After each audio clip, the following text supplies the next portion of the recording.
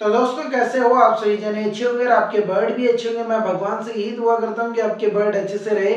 और गाइस यार budgies bird के बारे में काफ़ी ज़्यादा कमेंट आ रही है। कह रहे हैं भैया, जो बारिश का मौसम है, उसमें हम मटकी लगा दें क्या? आपको मैं बता दूँ, आपका अगर बजीज बर्ड का जोड़ा पूरा कन्फर्म तरीके से नहीं लगा है तो आप मटकी भी लगा देंगे तो ब्रीड नहीं होगी मेरे भाई। तो इसलिए आपको मैं बता दूँ जो कि यार बारिश का मौसम स्टार्ट हो चुका है।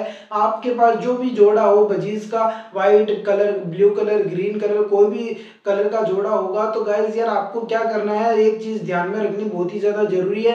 आप अपने जोड़े को देखेंगे, एकदम कंफर्म जोड़ा जो कि लग चुका है। दाना खिला रहे एक दूसरे को, आराम से साथ में बैठ रहे हैं और विस्लिंग भी कर रहे हैं या नहीं कर रहे, वो आपको पूरा देखना बहुत ही ज़्यादा ज़रूरी है। फिर मटकी लगा दे। और मटकी लगाने के बाद में पंद्रह से बीस दिन के अंदर जो कि आपको अंडे भी देखने को मिल जाएँगे।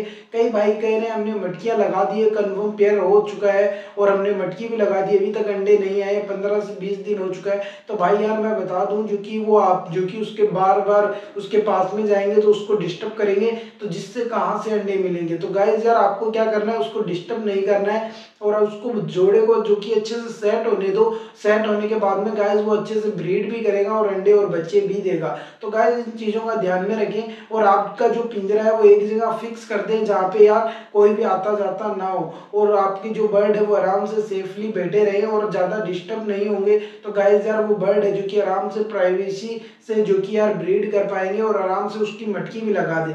और मटकी का साइज़ गाइज़ यार कम से कम बड़ी साइज़ की रखें, सात इंची की मटकी होनी चाहिए, जिसमें वो आराम से जोड़ा बैठ सके और अंडे और बच्चे को आराम से पाल सके। ऐसे नहीं, छोटी सी मटकी लगा दी जिसमें अकेली जो कि यार बजीज बर्ड बैठा रहे और अंडे भी दे तो यार वो बहुत ही ज़्यादा तकलीफ़ में होते हैं। फिर बच्चे भी बड़े होते हैं तो वो आराम से उसके अंदर ढंग से खिला भी नहीं पाते और बच्चे बार बार नीचे गिरते हैं। तो इन चीज़ों का आप ध्यान में रखें और आपके बजीज बर्ड बहुत ही अच्छी ब्रीड करेंगे, आपके जोड़े जो कन्फर्म हो जाए और उसके बाद में खाने और पीने का भी ध्यान में रखें और मल्टीविटामिन की भी दवाई देते रहें। आप अपने बर्ड्स को, वो आगे मैं बताऊँगा कौन कौन सी दवाई आपको देनी है, जिससे आपके बर्ड बहुत ही अच्छी ब्रीड भी करेंगे और बहुत ही अच्छे से जो कि बच्चों को भी पालेंगे। तो गाइज़ आपको ये इन्फॉर्मेशन कैसी लगी? अगर अच्छी लगी हो तो यार लाइक कर देना और कमेंट करके ज़रूर बताना। मिलता हूँ बहुत जल्दी एक नई वीडियो के साथ। जय हिंद, वंदे मातरम।